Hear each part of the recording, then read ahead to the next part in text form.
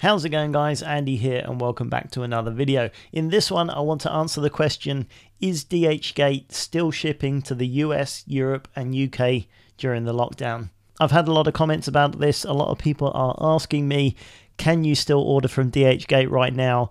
Am I going to get my items? How long is it going to take? Some people are asking me, I already made an order just before the lockdown, I haven't seen it, am I going to get it? All that sort of thing. So in this really short video, we're going to go over all the details and I'll tell you everything I know. So the short answer is yes, they're still open, they're still trading, and in fact DHgate are encouraging orders with a lot of money off coupons right now. They really want your business. So the technical answer is yes. But if you are, should I still be ordering from DHgate right now? I'm not so sure. Let's face it, shipping from China is not the fastest thing at the best of times. You can often be waiting a month or longer for your item, even when things aren't all messed up. And as we know, things are really messed up everywhere at the moment. And although things are slowly starting to get better in China, there have been reports of secondary lockdowns. Things are far from resolved in China right now. So if you make an order, there's no guarantee the particular supplier is able to get hold of the stock and will in fact be able to ship your order at all.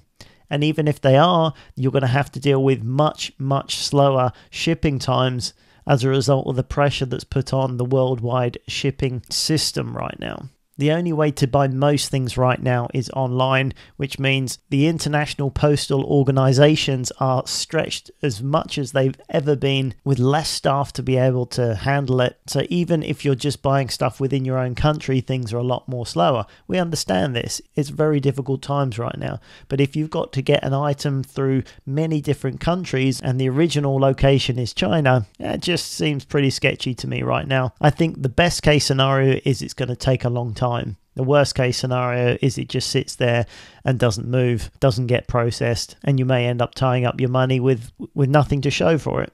So if you want to buy stuff from DHgate, that's totally up to you. I probably wouldn't recommend it right now. Much better to wait until all this is over and things start get back to normal. There's probably a better chance you're going to get your stuff. Now, if you've already made an order and you haven't seen it at all, I would suggest you log into DHgate and go to my orders and raise a case with DHgate themselves. If you don't hear back from the seller within a period of time, DHgate will refund you. Alright guys, that pretty much wraps it up for this one. Just a short and sweet one to reply to some of the comments I've had about this situation. More eBay and Amazon related videos coming very shortly. If you're a reseller, I hope you're smashing it right now. It's a very busy time, lots of business to be had. So take care, be safe, and I'll speak to you very soon. Bye for now.